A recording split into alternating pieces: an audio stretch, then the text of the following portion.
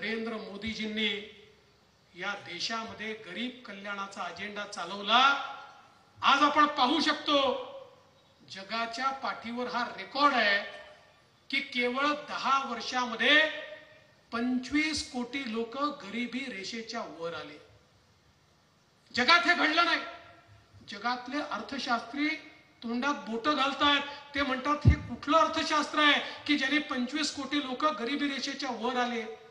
हे कोणतं अर्थशास्त्र आहे की ज्याच्यामध्ये भारतासारखा देश वीस कोटी लोकांना ज्यांच्या डोक्यावर छप्पर नव्हतं जे झोपडीत राहायचे त्यांना पक्क घर देऊ शकतो.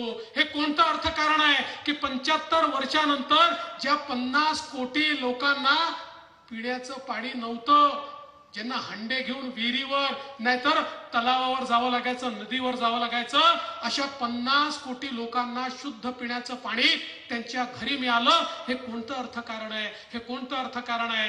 की गरीबाला त्याच्या घरी शौचालय मिळालं त्याच्या घरी गॅस मिळाला हे कोणतं अर्थकारण आहे? की ज्याच्यामध्ये पन्नास कोटी लोक पेक्षा जास्त लोकांना मुद्राचं लोन मिळालं आणि ते आपल्या पायावर उभे राहिले आणि त्याहीपेक्षा या देशामध्ये महिलांच्या अधिकारी ते करता यापूर्वी कधीच असं घडलं नव्हतं.